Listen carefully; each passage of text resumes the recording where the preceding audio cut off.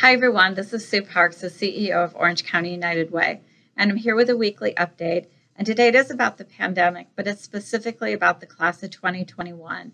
And specifically, it is about students from low income neighborhoods in Anaheim, Santa Ana, and Garden Grove, and how we can help them get through the senior year.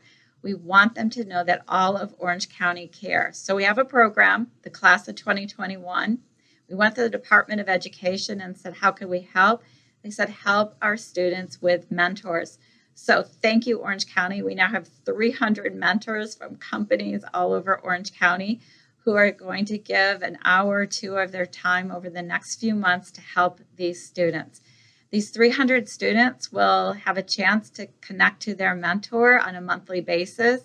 Then we'll have workshops for them on topics like mindfulness and financial success, financial literacy, and understanding how to get to college. What tools do they need in their arsenal so that they can be successful beyond high school?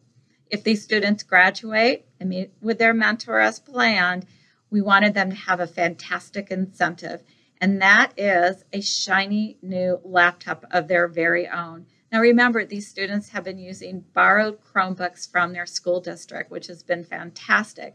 But when they go on to this next part of their life, we want them to have something that's really special and brought to them by the amazing community members of Orange County.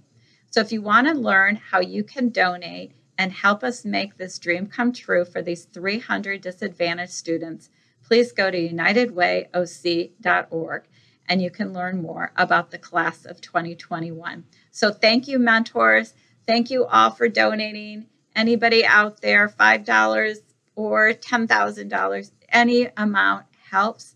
And we thank you for everything you do to make sure that the class of 2021 knows that Orange County cares.